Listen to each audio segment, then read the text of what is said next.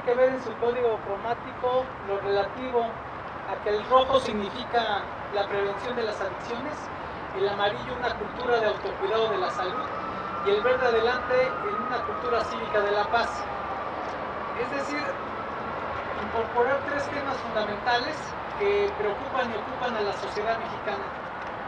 Este concepto tiene alrededor de 12 años de existencia y en los últimos tiempos se ha refrendado el hecho de reconocer que el deporte y la cultura física son un derecho humano. Y en México, además de ser consignado de esa manera, el artículo cuarto constitucional evoca y involucra el derecho que deberíamos de tener todos a la activación, todas y todos, a la activación física y el deporte.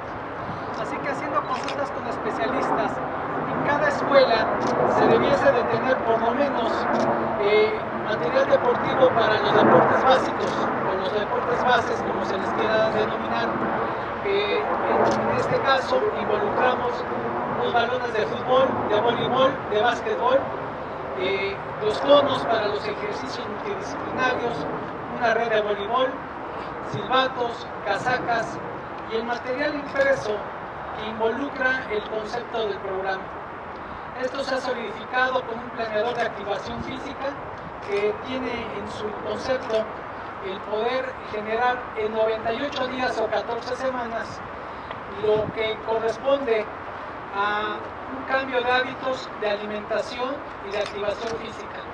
Entonces, esto lo hemos platicado, por ejemplo, con Max Aguilar, que es uno de los propios conceptos que se tendrían que eh, generar a través de este intercambio de información en un planteamiento digital, en donde hoy por hoy más de 300 mil personas, fundamentalmente educandos de educación media básica y media superior, se han incorporado a este reto de que a través de nuestras eh, potencialidades, respetando nuestra edad, nuestra situación de salud, nuestro género y nuestras opciones para activarnos, hagamos en 98 días un cambio importante para podernos generar hábitos que nos van a acompañar por el resto de nuestra vida. Así que, Valentín, fundamentalmente estos son los propósitos y reitero, en mucho hemos aprendido de las actividades que ustedes desarrollan creo que ese intercambio de información nos da como consecuencia el tener una oferta más amplia, en este caso a la comunidad universitaria.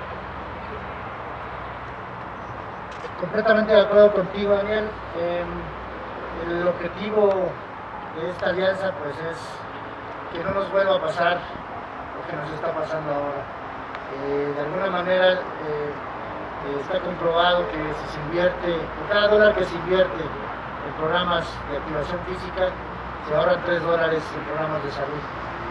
Y de haber empezado estos esfuerzos hace algunos 20, 25 años, quizá hubiéramos podido enfrentar de mucha mejor manera una pandemia como la que estamos viviendo, porque efectivamente las condiciones de riesgo eh, asociadas al sedentarismo son las que también están asociadas a la alta mortalidad en el caso del COVID y de otras tantas enfermedades. Em, bueno, pues no nos queda más que agradecer eh, la donación, agradecer los esfuerzos y comprometernos a eh, seguir colaborando pues, por el bien de los universitarios y por supuesto de la población los invito a cerrar este acto con un sentido joya. al canzón, los invitamos a todos. México, Pumas, Universidad.